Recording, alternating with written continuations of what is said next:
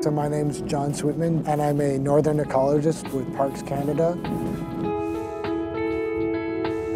This park is, is incredible as an aquatic ecologist to work on.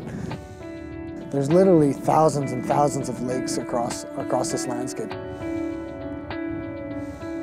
This is a collaborative project between professors at uh, Wilfrid Laurier University and Waterloo University and at Parks Canada. And over the next few years, we're going to be going out and routinely sampling a series of lakes. So right now it's uh, spring, so this is June, but uh, ice has just come off, off these lakes within the last couple days. And so we're trying to get a, a first snapshot of what the lakes look like.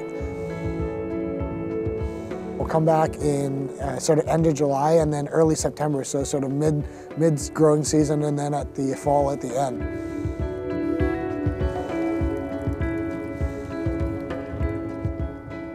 Global warming is obviously a big, big threat here. It's a little difficult to say what might happen to this park. So this, this study is going to take over the, the, next five years, and the idea is to get a, a, baseline of what's happening and change, and maybe get an idea of what's, uh, what processes are, might cause change. I work as an aquatic ecologist for parks. Uh, my specialty is in northern parks. And Wapusk is, for me, I think, a, a, great park because it's got a lot of water. Uh, I, I, specialize in, in looking at pond ecosystems and things, so it's, it's, it's really fantastic because it's just such a great place to work.